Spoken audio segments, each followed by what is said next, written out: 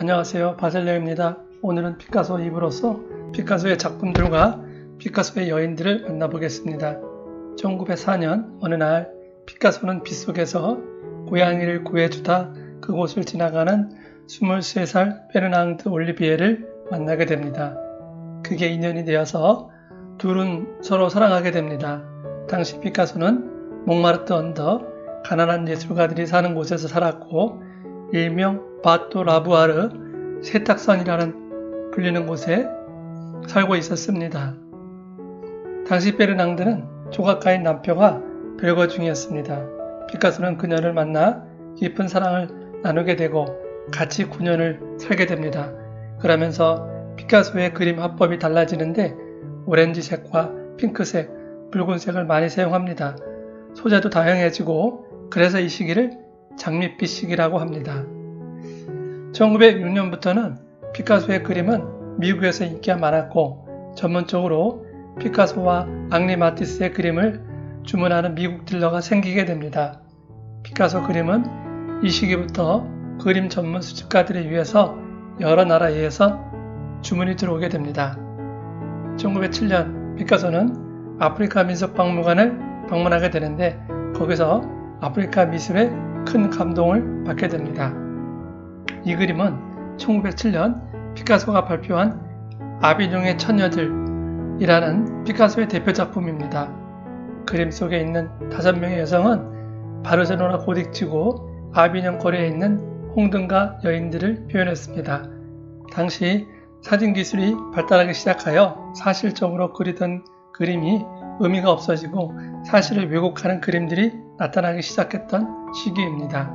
이 그림을 처음 본 사람들은 실망과 불쾌함을 느끼게 됩니다. 먼저 그림을 보면 다섯 명의 여성들이 화면을 꽉 차 있음에도 그동안 보았던 아름다운 여성들이 아닌 일그러진 얼굴에 불쾌감마저 드는 얼굴입니다. 거기에 시선은 관람자 정면을 바라봅니다.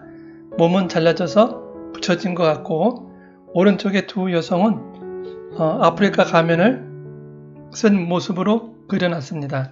오른쪽 아래에 있는 여성은 몸이 뒤로 앉아 있는데 얼굴은 정면입니다. 그 얼굴은 앞에서 본 얼굴, 옆에서 본 얼굴 같이 한 화면에 그려 넣어서 괴물스럽기도 합니다. 또한 과일 바구니는 앞쪽에서 본 모습이 아니라 위에서 본 모습을 그리게 됩니다. 피카소의 본인의 과거 속 기억을 토대로 창의적으로 그린 그림입니다. 배경, 주제, 형태, 구도, 미술계에서 중요하다는 점들을 모두 무시하고 새로운 그림을 만들어냅니다. 여러 방향의 시각을 한 면으로 표현하는 입체파가 시작이 됩니다. 이 그림은 원래 이름이 아비뇽의 창녀들이었고 피카소는 바르셀로나 아비뇽 거리에 영구적으로 전시할 생각도 했습니다. 이 그림을 본 친구들은 충격을 받았고 특히 앙리 마티스는 그림이 장난이냐 이렇게 말했답니다. 그래서 이 그림은 1910년까지 작업실에 보관하게 됩니다. 1916년 파리에서 현대미술 전시회가 있었는데 그때 전시가 됩니다. 당시 전시회를 기획했던 앙드레 살롱은 관람자를 의식해 아비뇽의 창녀를 아비뇽의 처녀들이라 고치게 됩니다. 피카소의 이 그림을 그리기 위해서 많은 그림을 연구했는데 엘그레코, 고갱, 앙리마티스 연구에서 나온 작품입니다. 1911년 프랑스 파리의 루브르 미술관에 모나리자가 도난을 당하는데 용의자로 시인 아폴리네리가 잡히게 됩니다. 아폴리네리는 경찰 조사 중에 피카소 이야기를 하는 바람에 피카소도 경찰에 연행이 됩니다. 조사 결과 무혐의로 풀려나게 됩니다. 훗날 다빈치의 모나리자는 루브르 미술관에 일하는 이탈리아계 직원이 범행했던 것으로 밝혀집니다. 1907년에서 1919년 사이 입체파 그림을 많이 그리게 됩니다. 분석적 큐비즘이라는 그림을 그리는데 주변 사람들이 무슨 그림인지 알 수 없다 하여 오래 가지는 못합니다. 1913년에 그동안 동거했던 베르낭도 올리비아와 헤어지고 새로운 친구의 애인 28살 에바 구에를 만나게 됩니다.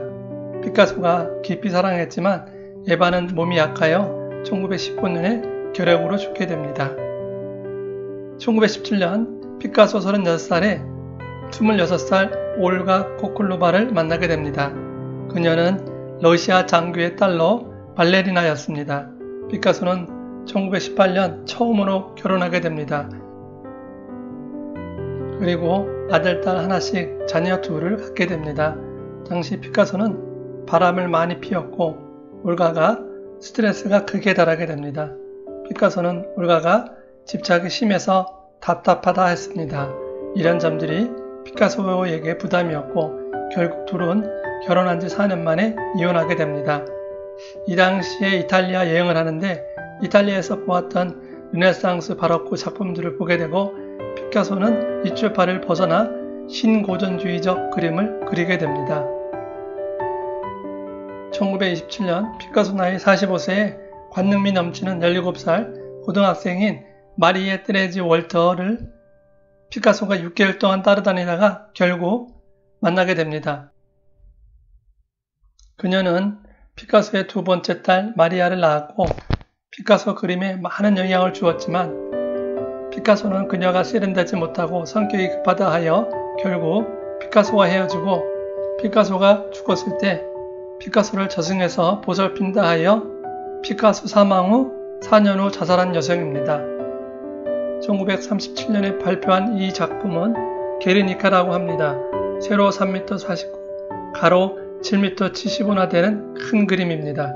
이 그림은 실화를 배경으로 한 건데 1936년 프랑코 파시즘 세력이 이탈리아 무솔리니 독일 히틀러와 손잡고 신형 무기로 스페인을 장악해 나갑니다.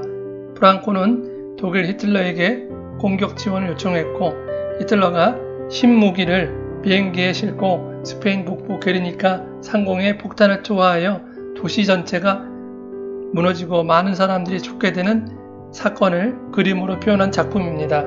전쟁의 아픔을 고발한 작품입니다. 이 그림은 극적인 구도와 흑백의 조합으로 비극적인 사람과 동물의 죽음을 잘 표현한 작품입니다. 이 그림은 1937년 스페인 내전 당시 파리 만국박람회 스페인관에 전시할 그림을 스페인 정부 측에서 피카소에게 주문하여 그린 작품입니다. 스페인 내전의 참상을 알린 그림입니다. 1936년 피카소 나이 55살, 29살의 사진작가 도라 마르를 만나게 됩니다. 스페인어를 잘하고 지적인 여성이었습니다. 이 시기에 피카소의 대자 게르니카를 그립니다. 도라 마르도 피카소가 여성 편력이 심하여 심한 스트레스를 받게 됩니다. 그래서인지 피카소 작품에 우는 여인이 도라마르입니다. 결국 둘은 헤어지게 됩니다. 세계 2차 대전 중 1943년 피카소 62세의 22살의 젊은 프랑스 여류화가 프랑스와 진로를 만나게 됩니다. 1945년부터 피카소와 같이 살았고 피카소의 아들 하나, 딸 하나를 갖게 됩니다. 완벽주의였던 그녀는 피카소의 외도를 참을 수 없었고 피카소를 떠나서 재혼한 여성이고 피카소가 죽고 나서 아들과 딸을 호적에 올려 자녀들에게 막대한 상속을 받게 해줍니다. 1953년 피카소 나이 72세에 26살에 자클린 로드를 만나게 됩니다. 그녀는 이혼녀로 피카소가 세상을 떠나기 전까지 함께 있던 여성입니다. 1961년에 피카소와 결혼을 합니다. 훗날 인터뷰에서 젊은 여성이 어떻게 나이 많은 피카소와 결혼할 수 있느냐 물었는데 피카소는 세상에서 가장 젊은 청년이라 말했고 늙은 건 오히려 나라고 답변했습니다. 그녀는 피카소가 죽고 13년 후 1986년에 피카소 무덤에서 자살한 여성입니다. 피카소는 말년에 가족들과 남프랑스에서 행복하게 사시다가 1973년 92살 나이로 신부전으로 운명하셨습니다. 피카소가 남긴 작품은 무려 3만 전 이상이나 되고 죽기 전까지 예술의 열정과 혼을 살려 정열적으로 인생을 살았던 피카소를 만나봤습니다. 다음에도 유익한 영상을 준비하도록 하겠습니다. 아스탈루에고